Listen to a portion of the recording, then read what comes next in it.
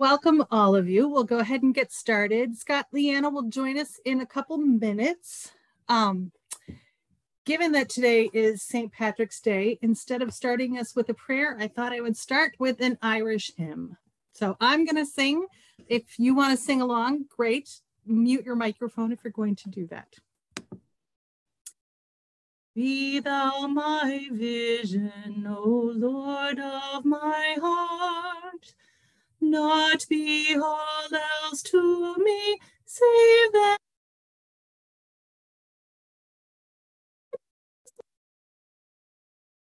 And by night, waking or sleeping, thy presence my light. Light of my soul after victory won, may I reach heaven's joys, oh heaven's fun. Heart of my own heart, whatever befall, still be my vision, O ruler of all.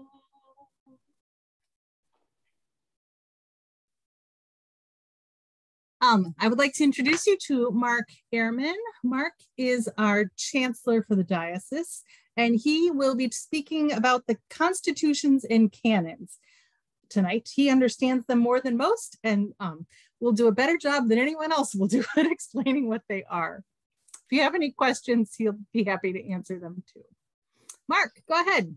Uh, thanks. And uh, before I start, I just want to apologize a little bit for the lighting in this. I'm in our in a visitor's office in our Milwaukee office, so I don't have the normal lighting uh, with nice background stuff that I have in my office in Madison. But uh, in any event, um, here with you tonight, and thanks for having me.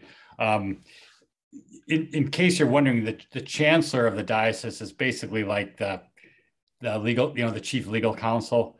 Um, I'm an attorney at Quarles and Brady and Quarles has had a long time association with the diocese. My father actually was chancellor for many years before he retired. And then after he was uh, there, Stuart Parsons served as chancellor for a while, Liz Orlopp, you may, may recognize those names, and now I'm in this position. So I'm gonna just spend a few minutes kind of walking through some of the general constitution and canons that, that affect, uh, you know, particularly vestries and parishes. Um, the, the Constitution canons are uh, accessible on the, the Episcopal Diocese website. If you go to the governor's governance and structure tab, then there's a link to the, the canons there's, and the Constitution. There are several pages um, that go kind of on and on, a lot of legal stuff. And I'm going to try to just summarize a few things that are, I think, important for your group to, to be aware of. So I'm going to start with the Constitution if if you're familiar with how companies are run, you know, there's there's like an articles of organization or articles of incorporation. That's typically the uh, kind of the the overall governing document. I would I would view the Constitution kind of like that. Uh, the canons are a little bit more specific and get into more granular detail on some issues. So the Constitution really covers things like um, you know it establishes the diocese itself it talks about how the diocese interacts with churches, the national church, the local churches. It provides a lot of rules on convention. It establishes the you know roles of the bishop, the roles of the standing committee, and the executive council.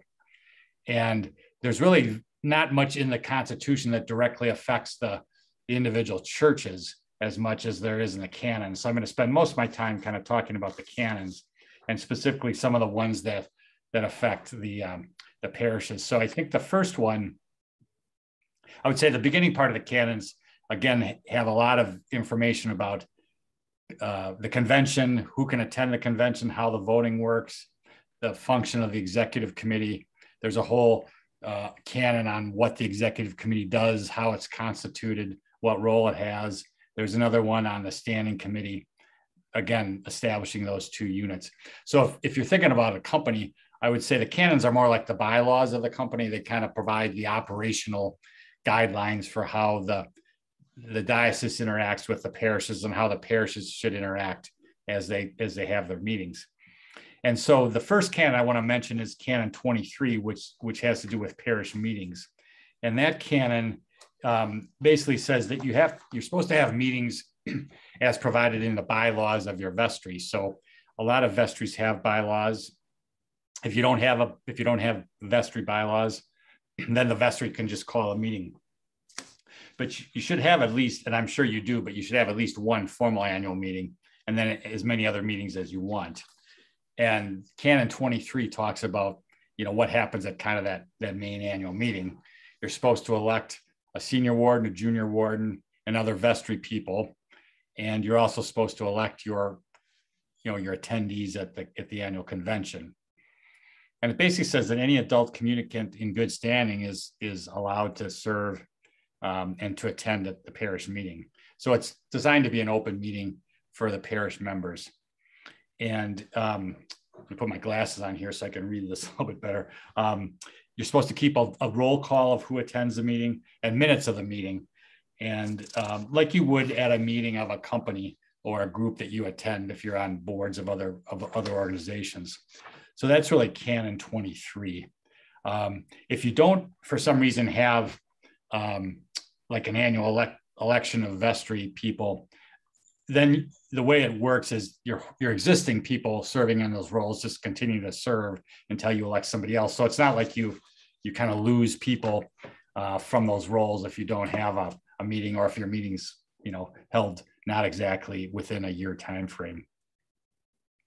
Canon 24 that deals with special meetings. So you have your kind of regular meetings and your special meeting, and special meetings would cover really whatever thing, whatever business you think you might need to do uh, you know, between an annual meeting. And uh, parish meetings are basically called by the bishop, uh, the rector, or or any uh, any you know the vestry as a whole.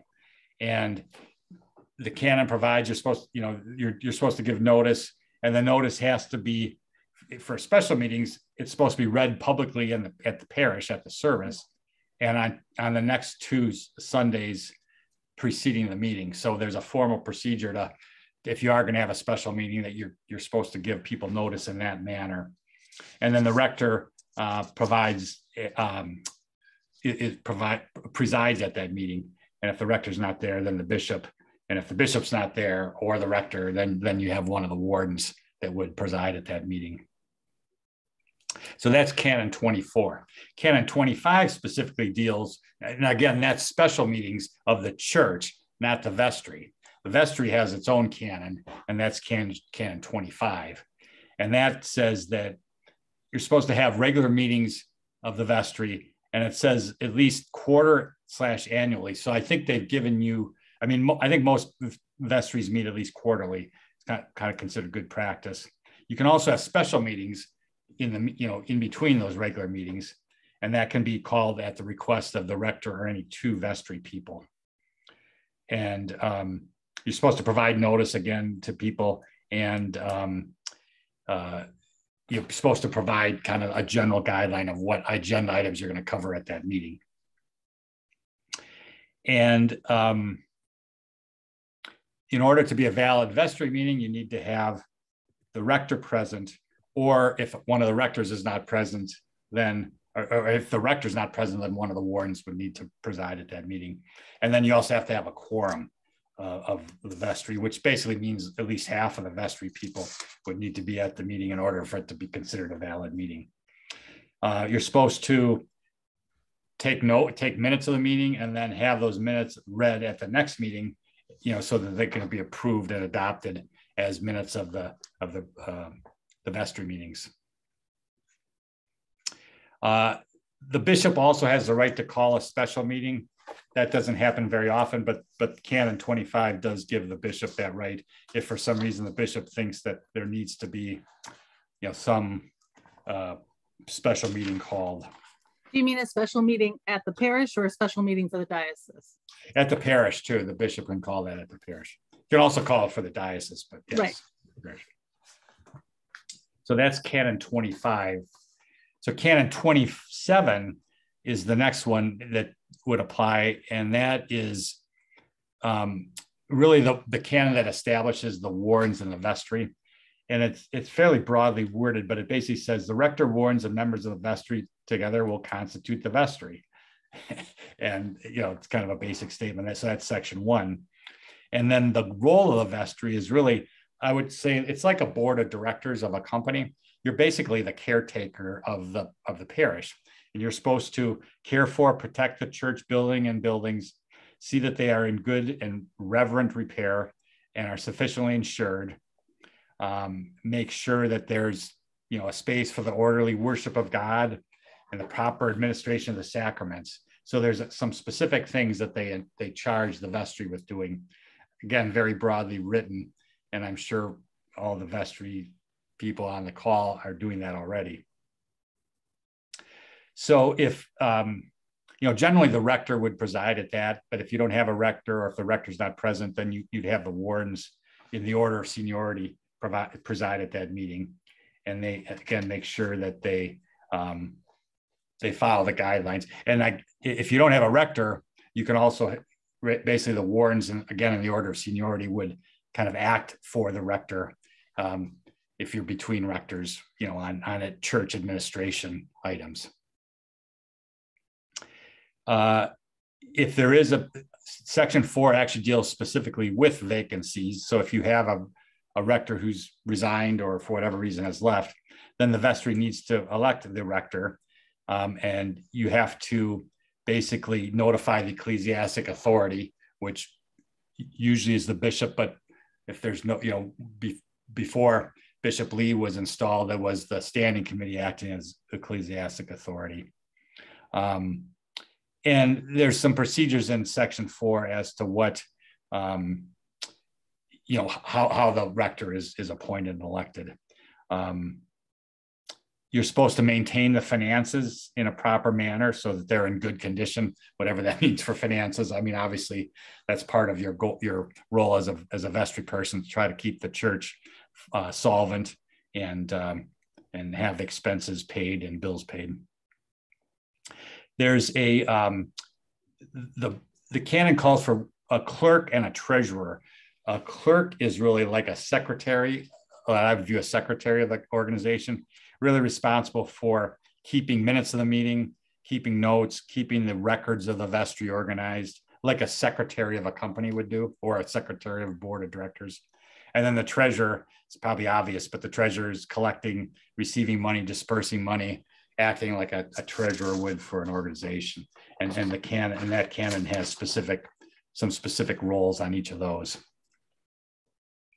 And then the last thing that that canon says is you're supposed to, once you have a rector in place or selected, um, you have to have, you're supposed to have a covenant agreement with the rector, which is basically like a, you know, for lack of a word, a better word, an employment agreement that deals with, you know, how, how the parish will be managed, what the rector's rector, his duties are, and uh, how any responsibilities would be shared. And that's supposed to be done in consultation with the bishop under that canon. So that's canon 27. The only other canons I'll mention are canon 29. Um, that hopefully won't come up, but there is a canon specifically dealing with what happens if a rector resigns or if for some reason you need to you know, force the rector to resign. Um, because um, the way that canons are set up, rectors really aren't supposed to voluntarily resign. They're supposed to be appointed. And, and it's not like a normal employment relationship where you can you know resign and leave and go to another parish there's a procedure involved if the if the rector wants to leave and then um, this canon has some fairly lengthy procedures as to what happens if there's some sort of dispute between the rector and the vestry and how that dispute is resolved. Like i say i hope that doesn't come up but if it does there's a canon that specifically deals with that. And then the last canon i'll mention is canon 20 which is um, basically it's it's it's a canon which talks about standard business methods for churches, and um, it says every parish needs to have sort of the following general standards of business, and it says. Um, funds need to be deposited in you know in normal accounts in other words in accounts that are insured federally insured accounts not you know underneath someone's mattress. Obviously, you have to keep records um, and uh, um, keep permanent records and and and tell people where those records are are maintained in case anybody wants to know. Um, treasurers and custodians need to be, you know, should be at least somewhat experienced in dealing with money. I mean, that's that's again sort of obvious, but but the canon does deal with that. Um, you have to keep books so that you can and, and financial records so you can do an accurate accounting and and prepare financial statements. Again, these are, are sort of obvious things, but the canon specifically deals with that. And then you're supposed to keep all your building and property adequately insured. The canon specifically uh, references that. And then it also says basically the executive council can ask for any of these, you know, any records that you have upon reasonable request. So um, that was kind of a short summary of a lot of pages of text. I tried to highlight the, you know, the canons that would be applicable to, you know, to this group, but happy to answer questions or, or address other things. And if you if you do get a chance, you can, like I said, pull these up online and there's a lot of text, a lot of legalese. I posted them here and I'll include them when I send okay. this out tomorrow.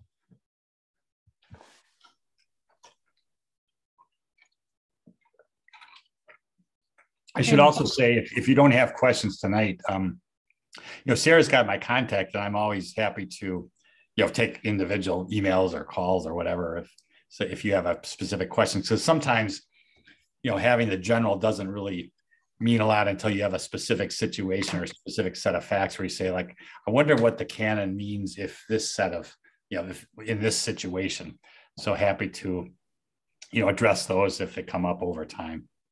Yeah, one thing that we didn't anticipate last year, well, we didn't anticipate a lot, but um, how to handle um, annual meetings, which are supposed to be held generally in January. And you know, if you can't meet, what are you going right. to do about that? And so that that became a, oh, we didn't we didn't think about this issue that needed clarification. Right, and and and I think the canons give you some leeway on that. I mean, again, like I said, if you if you have vestry in place and you don't meet in January, you know the vestry still is supposed to, you know, they still stay in place until you ultimately meet if it's in like March or whatever.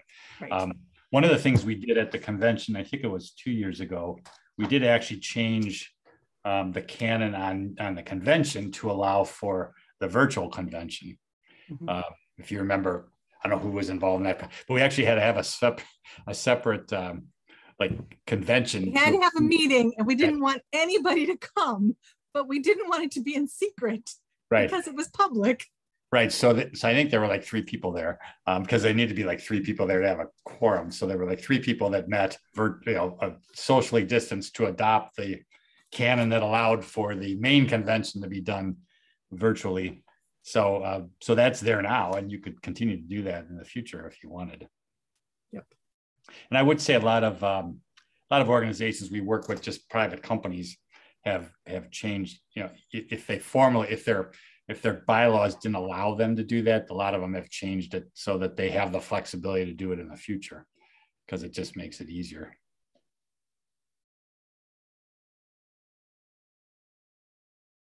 You know, one of the things, it, it, you know, even though you have meetings virtually, you know, you obviously need to still keep minutes of it and and you should note in there that um, i always note when i'm doing it that like if you have a meeting on zoom that people acknowledge that they can see and hear each other so that it's clear for the record that you know it's it's while you're gathered you're gathered together just not in person so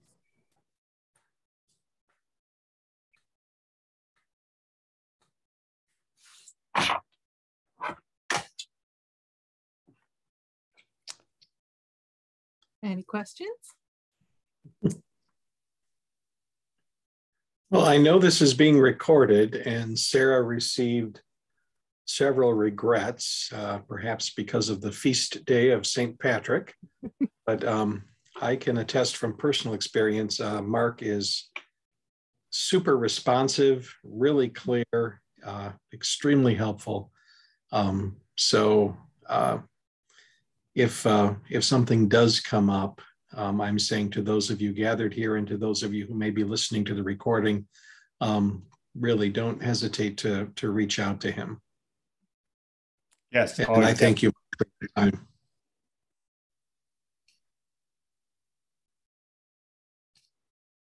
Among those of us that are here, do you guys know, are your vestries meeting in person yet or are they still virtual?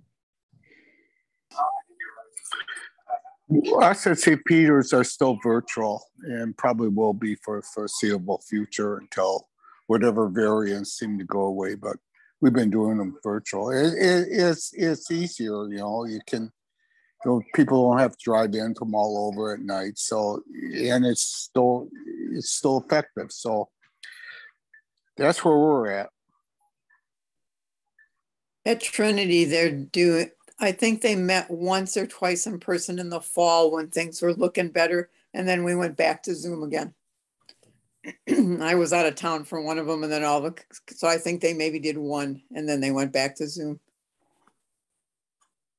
At St. Mark's, the church where I work, they are mostly meeting in person, not always, but when they have been meeting in person, um, they meet in the large parish hall, and they all have um, their own card table set up around, so they they have a lot of distance between people. Thank you.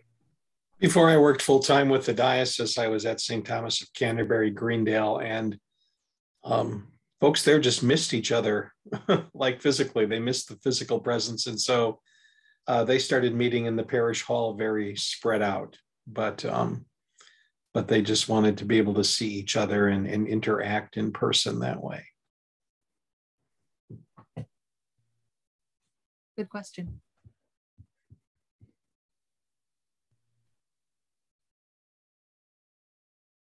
Well, I have a couple questions for discussion, unless anyone has anything else for Mark. The first question I have is what's um, one? Go ahead. Sarah, I just wonder if we want to give Mark the option then to scoot into the rest of his evening. I uh, did earlier.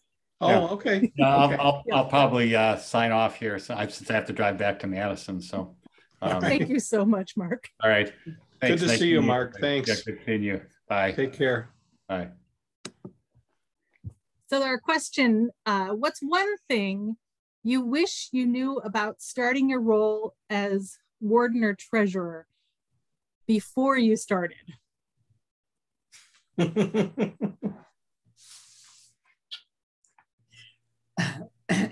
Come to mind, Sarah? How much work was involved? Yeah. Okay.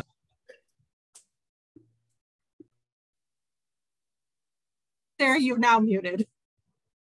Wish I would have paid more attention to, uh, I guess, the canons because when our priest left, I just silly, was so silly to assume the deacon was in charge.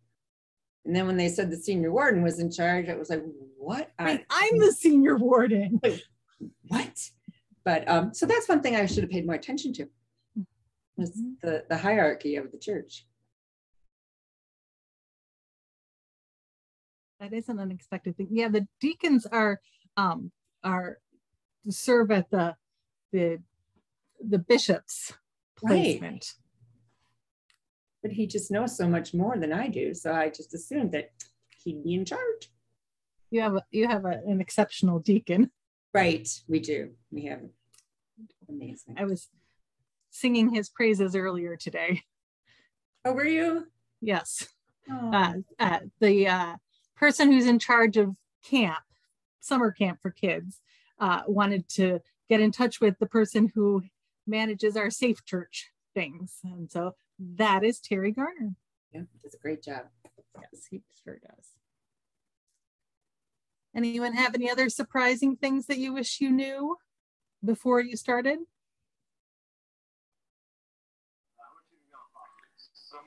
Yeah, I wish so. I wish I would have known there was going to be a pandemic.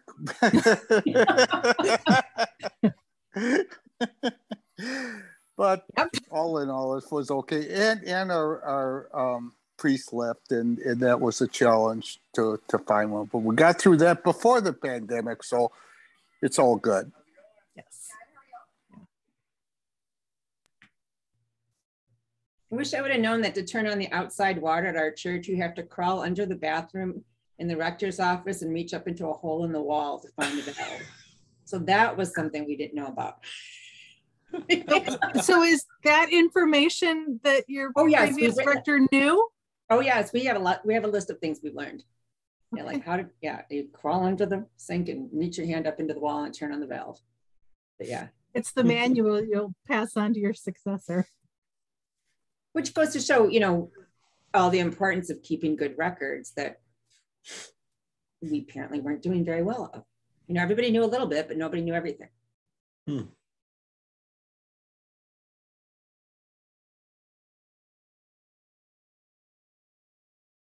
And the other question I have is what's a project that your parish is working on now that is exciting you?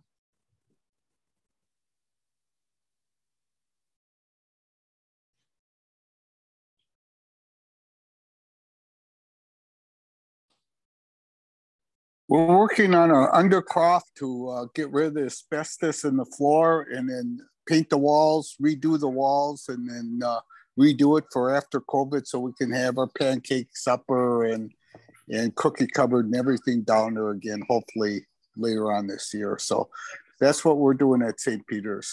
It's new That's and exciting. exciting. Are you are you um uncovering anything in the walls or that? We're not that quite that far yet, but so far, no. You finding the valve to turn on the sprinkler?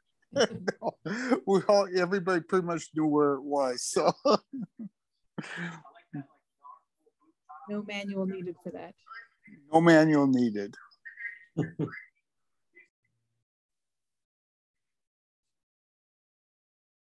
Beth, is there anything exciting that you have enthusiasm about at Trinity?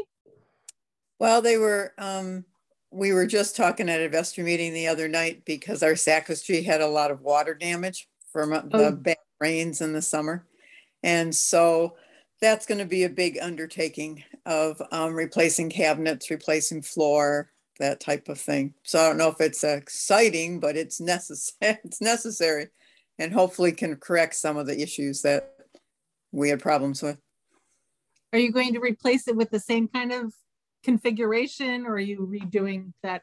No, I think it pretty much configuration. They're going to have to dig because they think there's no um, drain tiles. And that's part of our issue with the water getting in because the sacristy is below grade. And um, and just, you know, it it needed something. It's just unfortunate you didn't need a whole bunch of rain to be floating everything everywhere before you On a it. Sunday morning, no less. That's exactly right. They came in and water had gone into the church and down the steps to the um, Sunday school rooms and all over the place. Yeah. Yeah. I think that was the same morning. I think Mequon, you guys were out of power that Sunday or somebody was out of power on the same Sunday. It was a big day. Yeah. Does your insurance cover that? No. Mm-mm.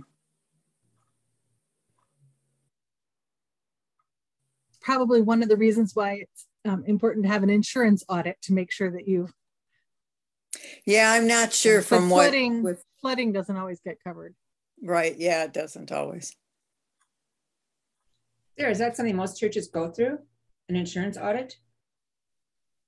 Um, I, I occasionally, I don't know that it's a that practice that every five years you do it, Okay. but Okay.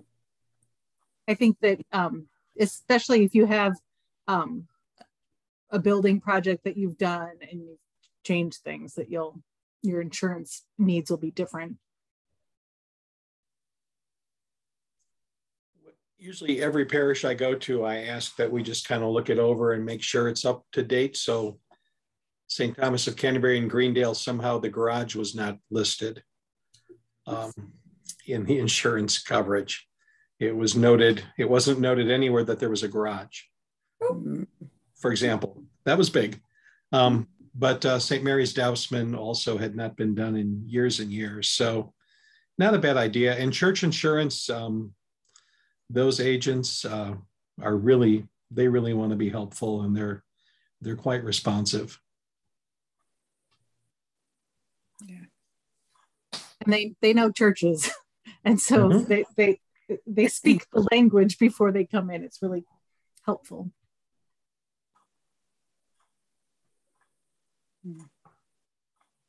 Well, I'm not sure, I, I don't know how familiar people are with St. Boniface, but we lost a priest and we are now in preliminary discussion with the diocese of it becoming a potential replant.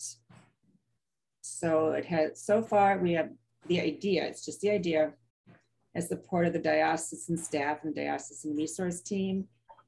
And so, but it's just all preliminary and our heads are spinning just a tiny little bit. Um, but we're very excited about uh, potential to grow because we, I mean, you guys, I'm one of the youngest people at our church, and that's sad. You know, um, we're just turning into a bunch of older people that and at some point we can't sustain it anymore. We just can't. Bishop Lee would told a story um, of when he was out in near Seattle. Um, there was a a church that said we need a Sunday school, we need to grow all these things, and they're in a retirement community, and and they have tons of new people coming in who move to this um, attractive retirement community, and their the church was growing and growing, but they're all old people coming, which was good, and and and he perceived it as they're growing and growing and this is great and you know people keep coming and so it's a sustainable growth but they they thought well we're failing unless we have this great sunday school Yeah. it's just a, a mind shift thing Right. there Well, if we had people, I, I don't care how old they are. They just walked in the door, we'd be Mhm. honest God, just walk in the door. I'll take you. I don't care how old you are. But you know, when we do get the occasional new person, we try not to like glom onto that poor soul because we don't want to scare him or her away.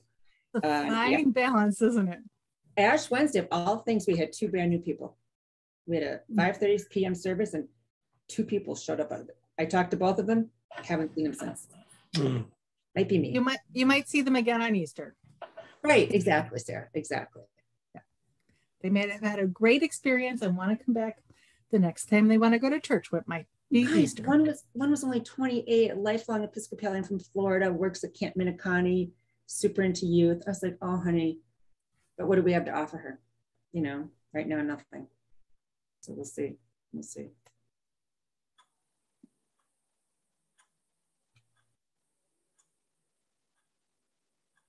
you have an announcement If uh, you have not yet done so, again, everything I'm saying is to the, the good folks gathered here and those who will watch the recording.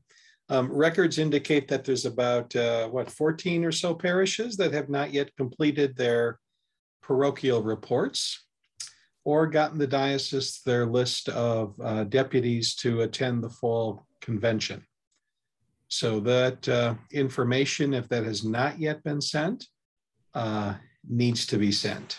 Uh, so please uh, attend to that if you haven't done so already. And if you have questions about how to fill out the parochial report or uh, either the parish uh, statistical part or the financial part, um, give us a call at uh, diocesan offices and we will absolutely help you with that. Thank you, Sarah. i was told to remind him Yep. Hey, Sarah, I saw that St. Boniface was on the list of not giving you the deputy information, but I thought I gave that to you like late last fall. Did The not? list that I sent out was the, um, the contact information. I don't know if there's overlap. I mean, the deputy list needs to be signed and sent in, and that's apparently a canonical requirement. And so that one has to be physically sent in, I, you know, with a signature on it. The contact information can just be filled out online. Okay. And if you're not sure if your deputy list is sent in, just call Barb at the office and she will tell you right away. Yep. But we need to have um, documentation of the elected deputies otherwise. Um, and that has to be certified. Otherwise they can't serve as a deputy, right? Yep. Yep. That's it. And are you all still thinking the convention will be in person? Yeah, We're still planning it, Italian Community Center. Yep. But we're getting good at redoing things if we need to. But But I, I'm, I'm excited about planning that. That is the plan. 7th and 8th. God, would you like to wrap us up in prayer? Love to. Lord be with you. And also And also with you. Loving God, on this feast of St. Patrick, we remember a faithful and holy man carried away in slavery at the age of 16. Six years later, escaped, went back to his home where he learned and grew in faith, and then send, said, Send me back to the people who enslaved me. And there he would begin his mission and his ministry of bringing your light and your love and your peace to the people of Ireland and by extension to the world. We thank you for the gift of faith and for the faith of those who have gone before us and has nurtured, sus- supported, and sustained us. We ask you, Lord, to give us that kind of regenerative faith that reaches out and strengthens and empowers and supports those around us in our lives. Send us, Lord, now into the rest of this night in your peace and in your love. In Jesus' name we pray. Amen. Amen. Thank you all for joining us. Have a good night. Happy St. Patrick's Day. Night. God bless everyone. Good night. Thank you. Thank you. sir. Night. Good night.